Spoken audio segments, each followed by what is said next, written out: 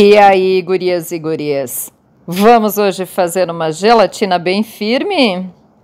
Aqui eu tenho 500 ml de água fervente no recipiente e escolhi o sabor morango. Estou colocando um envelope de gelatina sabor morango nesses 500 ml de água fervente e vou dissolver bem com o auxílio de uma colher ou uma espátula.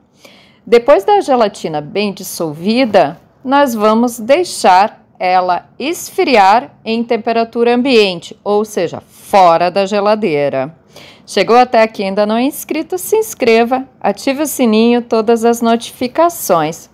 Depois da gelatina bem fria, nós vamos levar a geladeira numa das prateleiras do meio, nem mais na de baixo, nem mais na de cima. E aqui está a nossa gelatina bem firme. Deixa um joinha aí.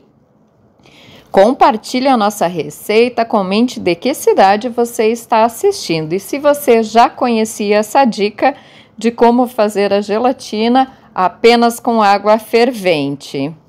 Agora estou cortando aqui em cubos, porque vou servir essa gelatina para minha filhota. Ela ama gelatina.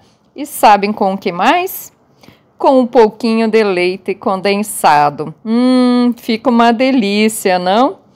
Nem eu vou resistir e vou ter que provar essa maravilha.